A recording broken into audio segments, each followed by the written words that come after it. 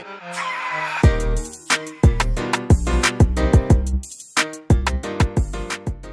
guys, welcome back to the DaSilva Life channel. If you are new around here, my name is Christy, I'm the CEO and founder, and I am absolutely obsessed with automations and organizing my business. Okay, so before we actually dive into this video, I want you to sit here for a second and think about all of the tedious little tasks that you may be doing every day, every week that take up all of your time. Okay, maybe not all of your time, and maybe you think, yeah, but they take five minutes here, five minutes there. Well, I'm telling you, they all add up. At first, it may seem pretty simple, right? Like creating a new client folder in Google Drive or creating multiple folders and resources for you to store your content. If I'm being honest, your time is way too valuable to be wasting it on tedious tasks like this that can actually be done by an automated system.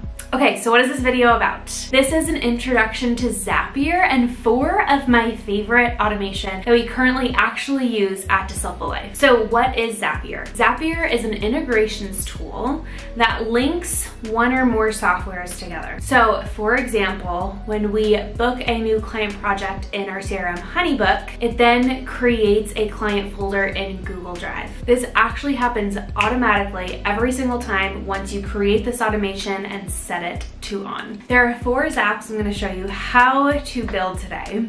I'm super excited because even if you don't need this exact one, it's going to spark some inspiration and at least get you familiar with the tool. All right, so let's dive in.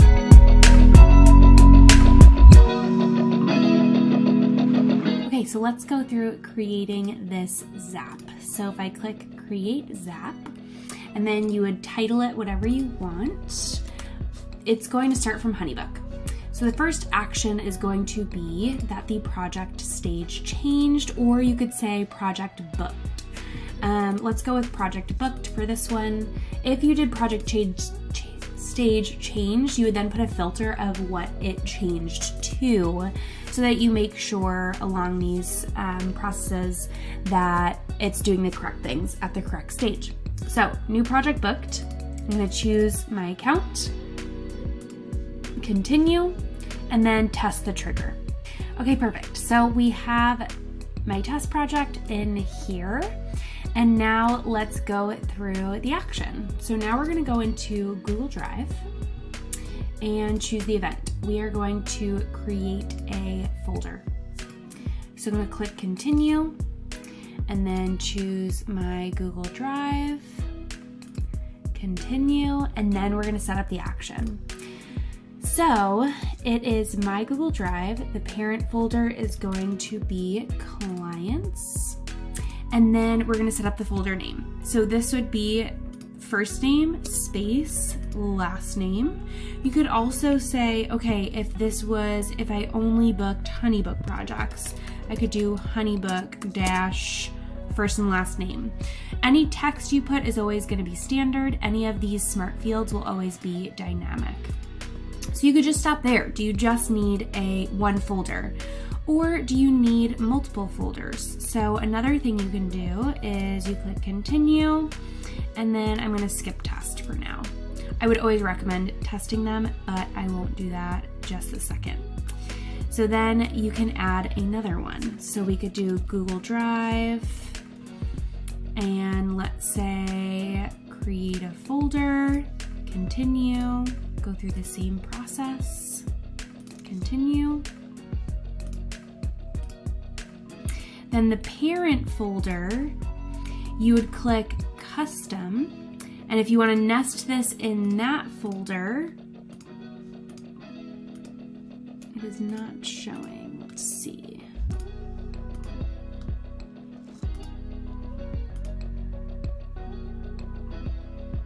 Oh, because we did not test it. Okay, so let's test. Test action.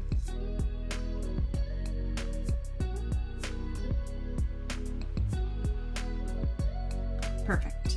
Okay, continue. Now let's set this up. Folder, custom, create Google Drive folder, perfect. And so then you're just gonna click that it's going to be put in this folder. You could also put the folder ID or the alternate link, whatever it is, you wanna click one of these knowing that, okay, it's gonna be put in this folder. And then what would this folder name be? Say you wanted to have them upload branding files. Any other folders that you would need in their client folder, you would then just type the names for, click continue, let's test and continue file not found. Okay, let's go ahead and I'm actually gonna test to see if this is in my Google Drive. So let's try this. If we did create Google Drive folder and let's say we put the folder ID, continue.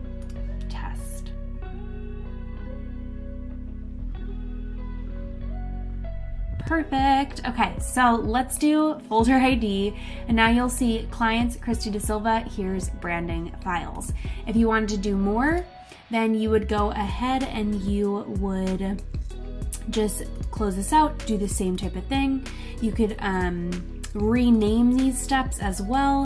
And then once you're ready to publish, you go ahead and click publish.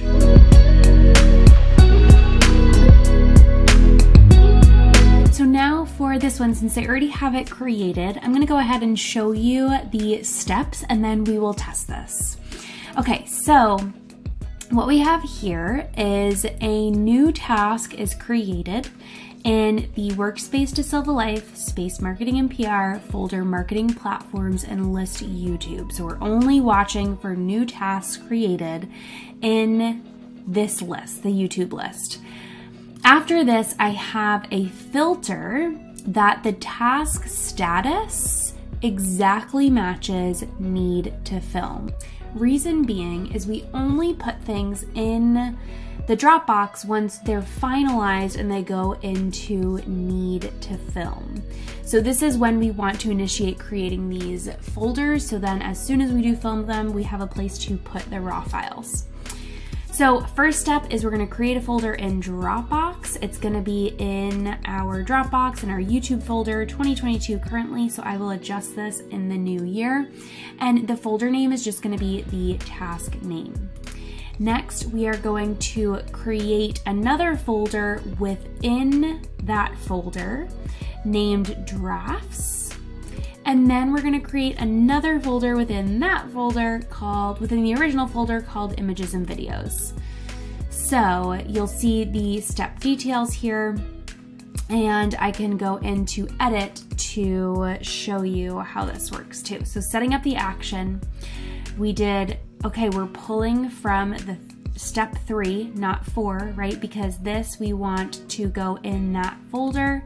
And then we did path and I checked this one and then put images and videos. So this is currently on. So I'm going to close, save draft and exit, and then I will show you how this works. So here's 2022 Dropbox. Let's just write testing.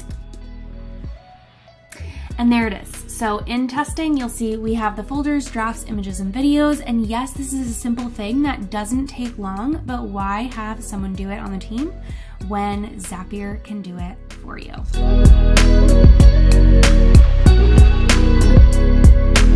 So when I am recording this, Zapier actually just updated their features to include ClickUp custom fields, which is a huge game changer because my sales tracking apps are one of my absolute favorite things that I use within Zapier. Okay, so what are they? I have four different finance sales tracking apps set up within my Zapier account that track with all of my payment processors, so Honeybook, Kajabi Stripe, PayPal, and Webflow Stripe, the four places we receive income.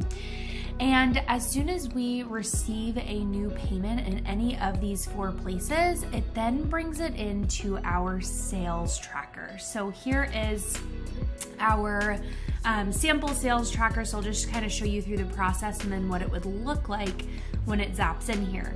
So we also have a dashboard that pulls in all of this data and you can see what that looks like in our ClickUp dashboards video. So I will make sure to link that in the description, but essentially just walking through these apps, if we go into the Honeybook Finance Tracker, we have anytime a new payment is paid in Honeybook, then it creates a task in ClickUp. So this is where it goes into our sales tracker template. It has the task name. So we set up that it'll have the project name and the payment amount in parentheses, the gross payment and net payment in the description. I used to do this because it I would have to manually input it, but now you'll see if I go into edit mode that we have, it will now be the project name, and then we have the net payment and the gross payment. We pull those in from the fields from Honeybook. So then as soon as a payment is made, it's actually going to bring it in here. The task name will always be the project name in parentheses, the gross payment.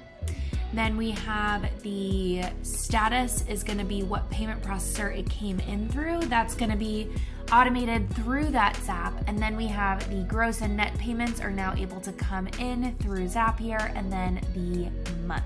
So here's an example of pulling in this data into widgets, how this information will be imported into a sales tracking dashboard. So you can see this month's gross and net sales, this year's net and gross sales by category, your monthly income, it will say the different um, sales breakdown so you can see the different tasks and where that income is coming from.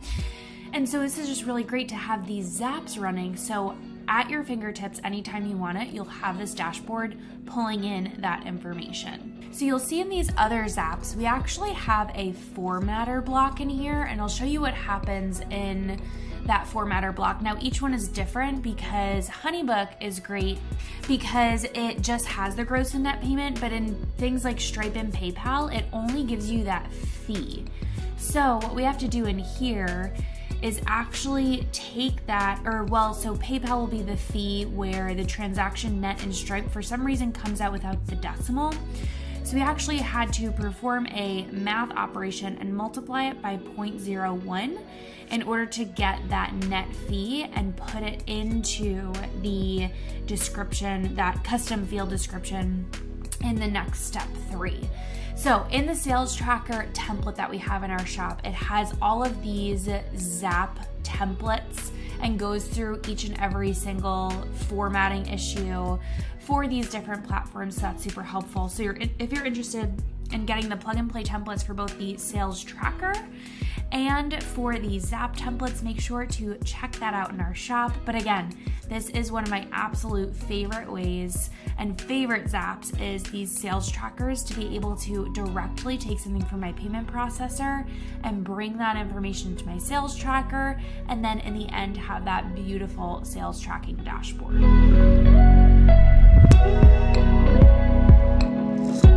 Another one of my favorite zaps I use is to track new leads coming in from Honeybook and bringing them into a leads pipeline within ClickUp. Now, Honeybook is really great for tracking leads as well, and we have our leads in our pipeline, but our our business and our team has grown to a point where we wanted to track our leads more granularly in ClickUp and be able to put other different subtasks. So you'll see when someone inquires then it will assign a person and a due date to the next things that have to happen at each individual stage. So again, this pipeline is available in our membership and our shop. Um, if you are interested in checking it out, but I wanna go through exactly what happens in this Zap. So the reason we have three are because we have different contact forms within Honeybook. So one is our standard contact form that's embedded on our website. The other ones are for Honeybook Pros and ClickUp Consulting. You'll see those here. Those are different contact forms. So we do have a filter within each of these that it only continues if the lead source is Honeybook Pros or ClickUp Consulting, etc. Okay, so what happens? We have this contact form that we've created. This one is just for our website and then it's embedded here. You can see that. Now, when someone fills this out, then it's going to create a task in ClickUp and I wanna show you the different fields. So if I go into edit, before Zapier had the ability to zap in these custom fields, we did put in the description all of the answers that they filled out. So email, Instagram handle, website URL, etc. But now we'll put, okay, it's going into the leads pipeline.